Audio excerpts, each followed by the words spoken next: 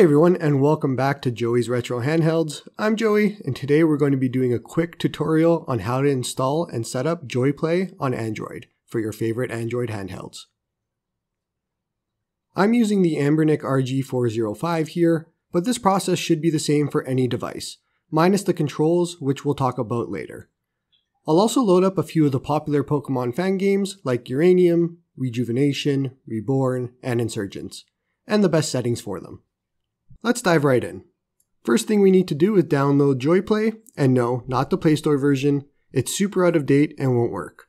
Hop on over to the link in my description, which is the JoiPlay Patreon page, and you can download JoiPlay and the RPG Maker plugin 1.20.023 for free.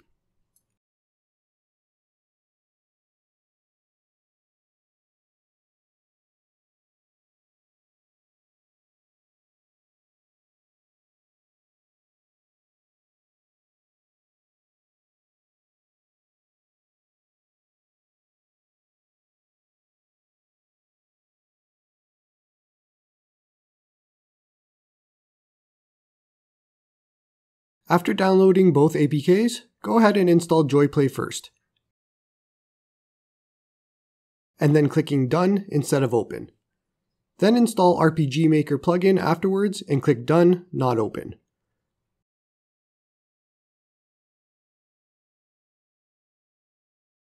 Perfect, now that we have the app, we're ready to go. Open JoiPlay and click the next arrow a few times, accept the terms and conditions, accept the privacy policy, and then grant all the permissions it needs. There's a lot.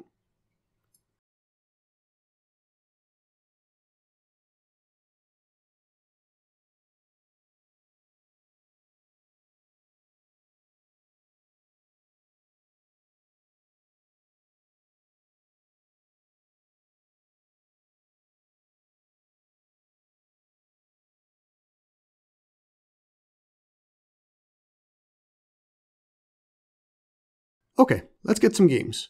Not mandatory, skip any games you don't want. I'll save you the time. Xenoverse does not work, so don't waste your time trying that one. For Pokemon Insurgence, head to the link in the description, click download from the menu, then you want the option that says full download, not installer.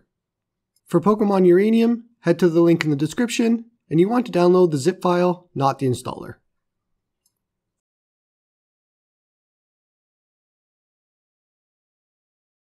For Pokemon Reborn, head to the link in the description and you want to download the Windows 7 version.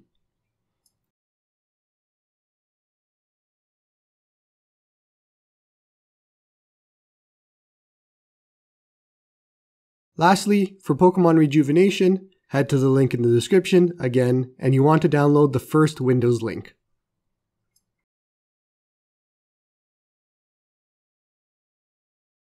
Now, Open whatever file manager app you use, I use Solid File Explorer, and go to where you downloaded the files and extract each zip separately and you should have four folders.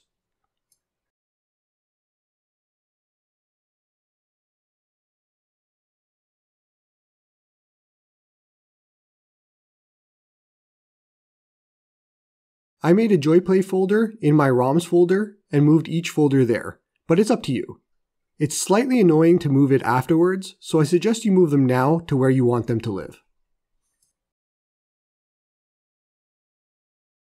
Okay, open JoiPlay again and click the three dots on the top right, then Settings. Head to the Gamepad section and copy what you see on screen, for both columns if you're using the RG405M. Triple check yours against mine.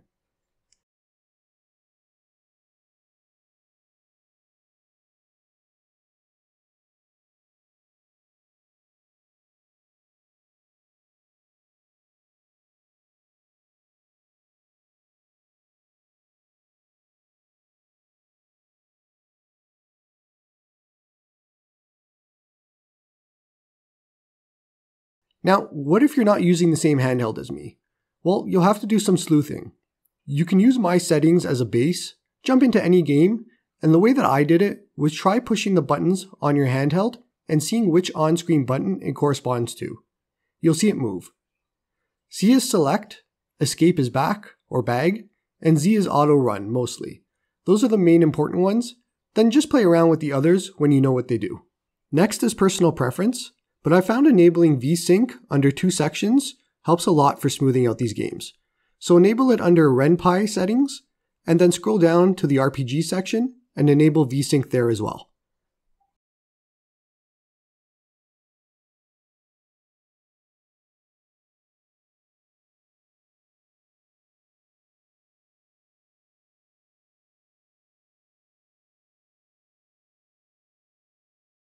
Lastly, scroll down to the P Essentials section and enable input overrides.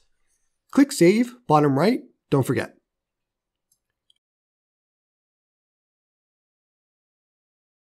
Back out to the home screen and click the plus sign at the top and select Add Game. Click Choose, pick a game to start with. I'll do Pokemon Uranium. So go to where you put that folder and you want to select uranium.exe. When you repeat the step for the other games, you'd select game.exe.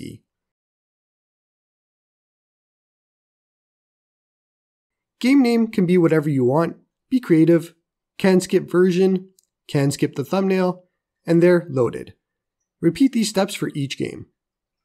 Now, when you open a game, you might get a pop-up saying game contains an RGSS archive. Click yes to extract. You also might get a pop-up saying game type requires a runtime package. Select the download option and a web page will open.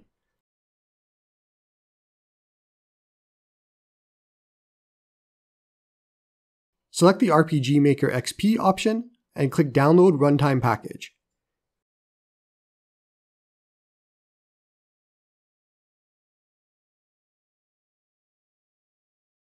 Pop back to JoiPlay and now click Choose and then we select the file we just downloaded. It'll extract and then click OK.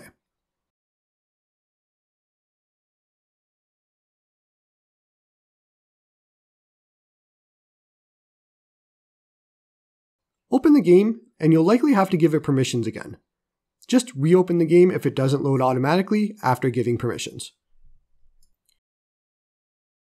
Otherwise, we're basically done here. I forgot to hide the on-screen controls for the next part, so don't hate me. For each game, the Y button is auto run, B button is cancel or bag, and A button is select. Of course, if you have the RG405M, this applies. Except for Pokemon Insurgence, R1 is toggle auto run, Reborn, R1 is use item, X is autosave, Rejuvenation, X is autosave,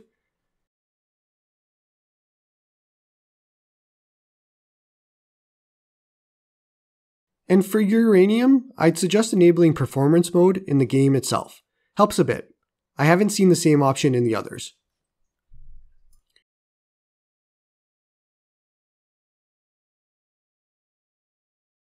You're good to go now. I've played small bits of each game so far, and they run well, but take it with a grain of salt. It could run badly after, I have no idea. And that's it for this one. Hope you liked the video, and hope you all have a good one.